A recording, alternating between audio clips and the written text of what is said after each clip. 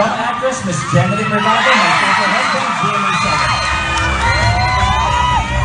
Presenting the Walters PFPC President Fernando Guzman.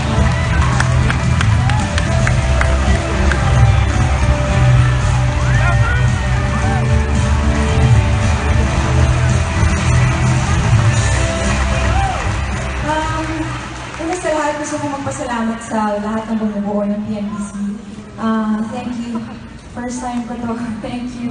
Um, sa lahat ng bumubuo ng My Faithful Husband, sa GMA Network, sa production staff and crew ng My Faithful Husband, sa Ibinibining, Direct jo- Ibinibining Joyce Bernal, um, sa aking leading man si Dennis Dilio, at ah, ang ah, lahat ng mga artista kasama ko po sa My Faithful Husband. Maraming maraming salamat. Sa aking, sa manager, Tito Becky Aguila, Ah, sa aking anak, ang pinakamamahal kong anak, si Jazz.